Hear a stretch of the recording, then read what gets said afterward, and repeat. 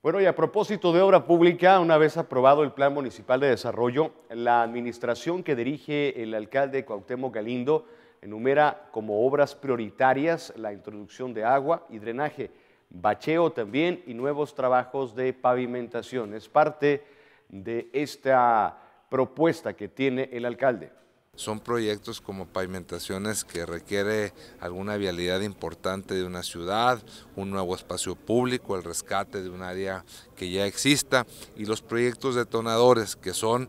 un centro de convenciones, una ciclovía, una nueva área para que se instale la industria,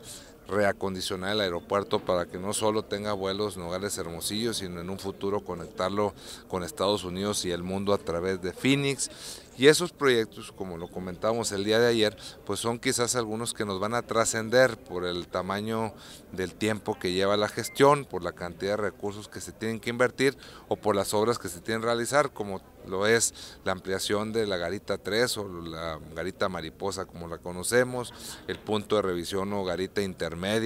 en el eh, recinto fiscal. Entonces, eh, algunos proyectos que quizás no los alcancemos a ver en esta administración, pero que sí se les deberá dar seguimiento para que Nogales pues alcance ese desarrollo y tenga ese atractivo para invertir, pero también se vuelva una ciudad más cómoda para vivir. Hablando precisamente de seguimientos, ayer hacía público que había eh, planeado eh, reuniones mensuales de análisis de revisión de avance. ¿Esto será público también? Totalmente público y el documento este, en unos días más estará la versión digital disponible en el sitio web del gobierno de la ciudad para quienes lo puedan consultar ahí lo puedan hacer para que nos ayuden a evaluarlo, para que la ciudadanía sea partícipe, así como nos ayudaron en la elaboración, porque lo que ahí se presentó es lo que la ciudadanía nos eh, ha demandado y también son algunas solicitudes añejas eh, de la gente que vive en hogares, pues que también así como nos ayudaron en esa elaboración, nos ayuden en su evaluación.